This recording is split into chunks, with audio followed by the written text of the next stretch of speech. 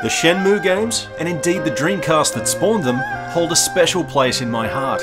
Even though I didn't know a lick of Japanese, in 1999 I imported a first print copy of the original Shenmue because, frankly, the magazines I'd seen it in made it look like the next great leap forward in gaming. A new way to play, a bold new genre invented by Yu Suzuki called Free Reactive Eyes Entertainment. Which, even looking back fondly, was a pretty silly and lofty acronym. The modern equivalent of Kojima trying to coin Action Strand game, I guess you could say. Anyway, I played through my copy of Shenmue, and while I did want it to have more skull cracking fights in it, and less asking people for what seemed like hours about sailors, yeah, I was absolutely entranced by it. Up until that point, we simply hadn't seen anything like Yu Suzuki's take on 1980s Yokosuka. Also, few games offered character models this lifelike, and even fewer games could boast an overworld this open and filled with just AI citizenry going about their daily lives. It was mind blowing. And that's before you even factor in the sheer addictiveness of Shenmue's Gotcha Catch 'em All toy collection, This is cool. pugilism, Let's get sweaty. Minigames, lucky dips for sweet prizes, and arcade perfect versions of Sega classics. I'll try it. Trust me, back in 1999 and then 2001, Shenmue and its follow up offered some of the best gaming going. And I've got to tell you, having that franchise cut short by Sega's demise was a heartbreaking thing to watch for me. Sure, in the 20 year gap, Shenmue Diehard's got a taste of some of its DNA in the Yakuza series, but that Dragon's Tale wasn't enough for purists like myself. It feels like a miracle for me to say it today, but after two decades, I've just finished Shenmue's Phoenix Resurrection in the form of the long awaited, kickstarted and then some sequel entitled Shenmue 3. A game that I can wholeheartedly recommend right now for a purchase, at least for anybody who grew up with the first two. As for newcomers to the series, well, this is where things get complicated. Anybody approaching this as a modern gamer ought to be across a few things. The first thing, obviously, is that you need to get caught up with two games worth of ongoing revenge epic. Now, the main menu has a pretty sweet recap movie that will go into greater detail than I can, but I figure I should give you some quick cliff notes as well. So here goes. Back in the mid 80s, our young Japanese hero, Ryo Hazuki, walks in on a tense showdown between his father and sensei, Iwao, and a mysterious Chinese gangster named Lan Di. After a brief fight, Lan Di murders your pops, gives you the business, and departs with an artifact that was secretly being hidden at the dojo. Long game short, Ryo begins a hero's journey to train up, to trace the whereabouts of Lan Di back to China. Oh, and he kicks the shit out of 70 dudes in one go, spends way too much time and money on lucky dips, arcade machines, and forklift races.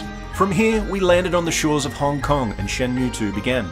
In one of the biggest dick moves in the history of gaming, all of your acquired money from the first game got swiped in the opening minutes, and you fell down a rabbit hole of street urchins, more goons to punch, and you got some unexpected support from a cabal of kung fu masters who put you back on Lan Di's trail again. This in turn leads you to the walled city slums of Kowloon and into the orbit of an opportunistic street punk named Ren. These unlikely allies are forced to form a jagged alliance in order to beat the local gang run by a festively plump gentleman. After much detective work and the constant threat of falling into pure and utter gambling addiction with lucky hit games, it's revealed that this fellow is the sub boss of Lan Di. Our hero then follows his nose into a more rural area of the country. And that's pretty much where we end up with Shenmue 3. In the closing moments of Shenmue 2, you're in the backcountry, finally making a connection with Shenhua, this mysterious and beautiful poster girl of the franchise, who we barely even got to talk before Sega pulled the plug after Shenmue 2. She seems pretty certain that you are some sort of prophesied one from ancient text, a savior from a distant land. Anyway, after selecting one of four difficulty modes, which range from just give me a story to I'm a micromanaging masochist, you will be let loose in Bailu Village. Now relax, I'm not going to spoil too much more than that when it comes to the plot. I mean, basically, you're on this extended detective mission with Shenhua that starts in this decently sized rural area before going to a metropolis and beyond. That is just more sizable, populated, and in line with the town environments that we saw in the earlier games. I myself got through this on a respectable sort of difficulty, and it was a fairly sort of single-minded main plot run that took me around 32 hours-ish. That said, if you really wanted to chew on the side content, I, I imagine you could push that to 45 plus, which is pretty decent. Now, Shenmue purists will know what the gameplay here is, because Suzuki has doggedly, and thankfully, stuck to the core of what a Shenmue game is. The nostalgia holic in me couldn't be happier for this fact, because this entire thing feels like a game just stuck out of time, made for the fans with an absolute laser focus on pleasing them. And you gotta love that, because that's what we wanted. That said, and while I'm very much appeased, the fact is I kinda have to put aside my geeky love of this franchise and speak to the other half of the audience that may stumble in upon this. You know, curious modern gaming newcomers, because after all, it really needs to draw in new blood, new fans, and new money as well. So yeah, here's what you can expect if you're a modern gamer coming to this. First of all, Shenmue 3 is not open world in the way that you probably know. You're given a long leash, but time and time again it's yanked whenever you venture past an area where Ryo thinks he ought to be. To progress and to take those blinkers off, you'll need to check your journal for the next thing to find or ask about. And then it's time to just incessantly badger NPCs in not hugely interactive ways until somebody coughs up the next clue. Rinse repeat. In this game, Ryo swaps his old obsession for asking about where sailors hang out to things like, have you seen Shenhua's dad? Or a man with a spider tattoo on his head? Or are you an old person who knows more about this event and or thing? Mercifully, that's spiced up from time to time because your quest will sort of be gated by a task. Be it a quaint sort of thing, like a hide and seek game, or a quick fight. I guess what I'm trying to tell you is this. Shenmue is a pleasant, low gear game. That might be for your tastes, it might not. It was for me. You should also know that Shenmue is a lovely little time capsule in terms of visual and audio presentation.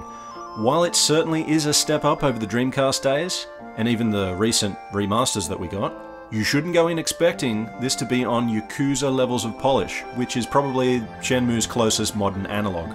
Suzuki and his team smashed it on Kickstarter, but this is still considered a budget title and your expectations should be lowered as such. So definitely expect atrocious lip sync for the English dub that will either offend your eye at worst or at best feel quaint, like you're playing a dubbed 1970s kung fu flick. Excuse me. Hey there, lad. How about a game?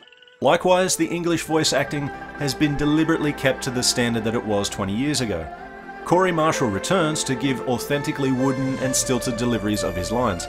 Most running conversations in the game will sound like the script was chopped up into sentences, thrown into a hat, drawn for the actors out at random, and then recorded in that order.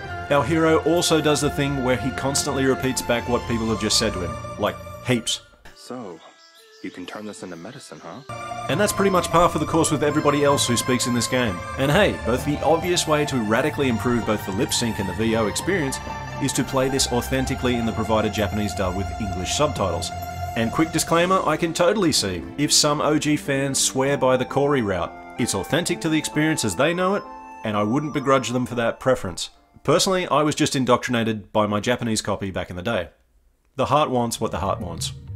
Moving on, it also has to be said that the character models in the game are very up and down in terms of quality. On the one hand, I can praise Suzuki for sensibly updating these old heroes and villains that we know and love, while also adding a tiny bit more emotional expression to them. Keyword tiny. That said, my god, every once in a while you will come across an NPC, not many, that has strayed into claymation caricature. Just dingo ugly.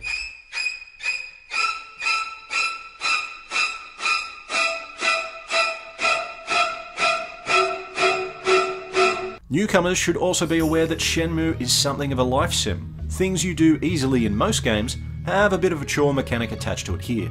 Something we absolutely loved back in the day. Couldn't tell you why, we just did.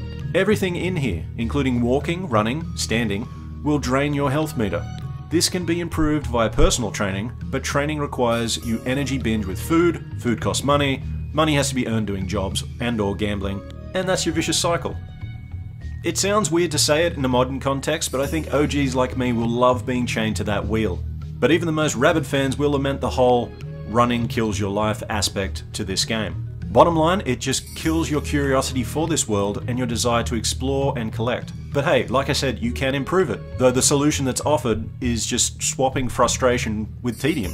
Also, you could say, yeah, there's a new jump system that fast travels you to spots or rendezvous that need to be done at a certain time of day, but that mechanic also takes a bite out of your ass as well. It's just, it's not ideal. But that's not to say there aren't some really cool modern creature comforts shoehorned in here. Those old entering door load times have been done away with, indoor and outdoor environments are now connected, you can zoom and manipulate the camera, thank God, and indoor environments are now overflowing with investigation points compared to what we got in the old days. This, however, is a double edged sword because being able to rifle through every drawer, cupboard, painting on the wall can just feel like this orgy of evidence at a few critical points in the main path. You're literally locked in place and asked to go rooting through like 30 or 4 interactive hotspots until you find X item for purpose Y. And hey, before I start sounding like a Luddite, let me tell you that the new combat system benefits greatly from some modern massaging. Admittedly, Virtua Fighter is in no danger of being dethroned today, but what we do have is this lovely 8-way run affair that offers manual or automatic selection of your special move combo techniques and a very wide variety of moves, if you're willing to put in the legwork in the overworld and find some more. I also really like the sparring mode that uses this sort of QTE style system to better train you to hammer out these combos. All in all, it's primitive when you compare it to what's around, but in the context of this franchise, it's a really great upgrade. Each area comes with training spots, ranked matches against increasingly difficult foes, and just random fisticuff moments thrown at you out in the overworld. If you thought Shenmue 1 and 2 were a little bit too pacifist, you'll be pleasantly surprised here. You even get the odd QTE moment here and there, just a lovely little throwback to the love-hate mechanic that Shenmue helped to bring to our medium, way back in the day. Honestly think that if you give Shenmue 3 a few hours, you'll find your groove as it opens up to reveal its goodies. And I'm not talking about scintillating conversations with the beauty impaired. You'll want to exist in this world time and time again for the minigames and the jobs and the collectible crap that they can provide, be it capsule toys or consumables to keep you in shape, skill books for sweet ass-kicking moves, or cosmetic options for a hero, like sneakers, shirts, jeans, and jackets. But why you'd ever want to change out of his default leather one is just beyond me. Look at it, that shit is timeless. There's just a ton of cool things to do in this game, but I'm not going to spoil them all here. I did however lose a bunch of hours getting my horse riding stance to stallion levels, honing my one inch punch to Bruce Lee ability, and just chopping wood to the manly sound of the Afterburner theme. Likewise, there are more gambling opportunities here than Las Vegas. You've got Pail Toss, Turtle Racing, Lucky Hit Dropping, Weird Four Space Roulette, and so many more things when the game expands out into the next regions. And so, at the end of the day, I think modern gamers may have a bit of a culture shock with how Shenmue 3 looks, sounds, and more importantly plays. That said, I honestly think it has a charm to it, a quaintness that will win over all but the hardest of hearts. Knowing all that, a gamer like myself, who never dared to dream that Yu Suzuki's long form revenge epic could continue, that sort of person will be in heaven here. Shenmue 3 absolutely nails the tone of this, a franchise that was, and is, an important touchstone in gaming. I think this is a glorious homecoming, and I can only hope that it earns Suzuki a bigger budget and the opportunity to round off this ongoing epic. Give it a shot, because I can't wait for this to continue.